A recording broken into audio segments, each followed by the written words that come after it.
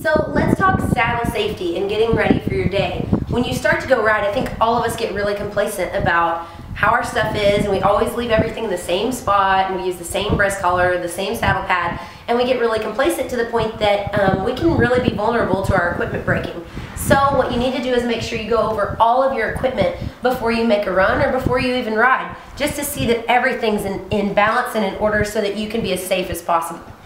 So I am riding a Circle Y saddle um, and I'm using my tack here. As you can see, um, I want to check to make sure that the, the backs of these Chicago screws are all really tight on the backs of these. You can even take Loctite that you can get at any hardware store and if you know that this is something that you're going to permanently want and you're never going to change these buckles, take a drop of Loctite, put behind your Chicago screw and then screw it together.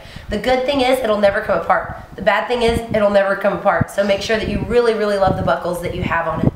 So I'm going to check on my saddle, not just for the aesthetics. Obviously you can see my saddle's got some dust on it, needs to be cleaned up. But beyond the aesthetics of it, I want to make sure that these D-rings are really in there. These can fail us sometimes. I've had these jerk out. Um, not on this particular saddle, but I've had them on some saddles where these will come out. Then you really want to check your, um, your wear leathers and your stirrup fenders and your keepers. So you want to check to make sure that your keepers are in place that these are adjusted and that your holes look good, that these aren't worn out and really trying to go somewhere. So that's super, super important.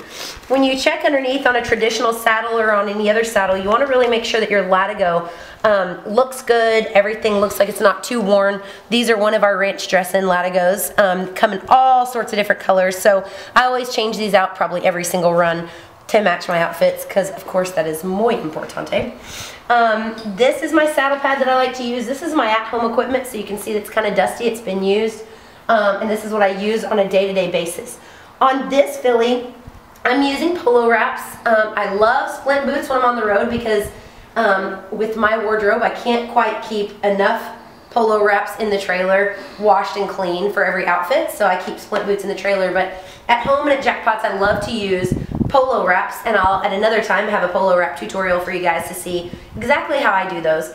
Um, and these are just fun. I use overreach boots at home. We try to make sure to have protective leg gear on our horses the whole time.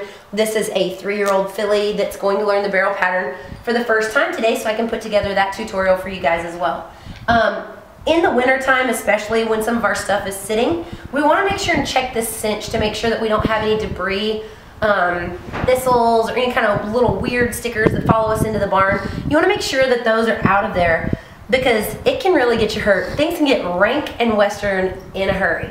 So you want to go over all of these pads, make sure that you're brushing those out before you put them on your horse.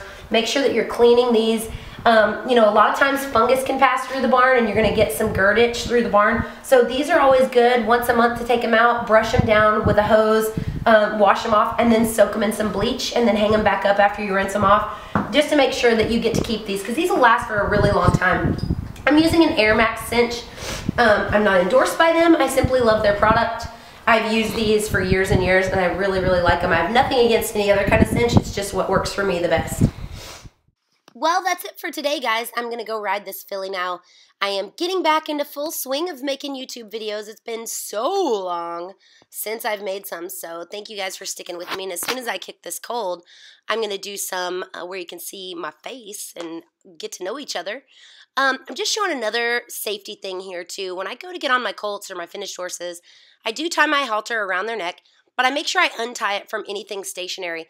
That way, just like this filly's kind of fighting with her ears and kind of being a little silly, um, you can you can make sure you're keeping yourself safe and out of a jam by keeping that untied. And then always with your halters, make sure to hang them back up. Don't leave them dragging. Until next time, I will see you guys at youtube.com forward slash Fallon Taylor and check out all my clothing products at ranchdressing.com. See you guys soon.